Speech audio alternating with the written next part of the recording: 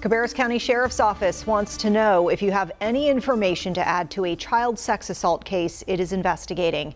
Deputies say 27 year old Michael Starnes faces several charges, including statutory rape and statutory sex offense with a child under 15. Authorities say they've been working on this case since January when they say a victim came forward to identify Starnes as the suspect.